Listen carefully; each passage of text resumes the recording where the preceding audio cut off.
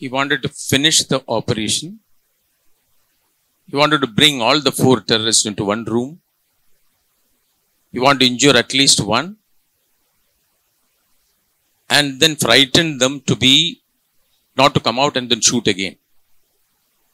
Nobody, nobody explained this way. Only his CEO explained. He said that I asked him, why did he do something like that? Many people are telling that he should not have gone alone. It's a foolish act.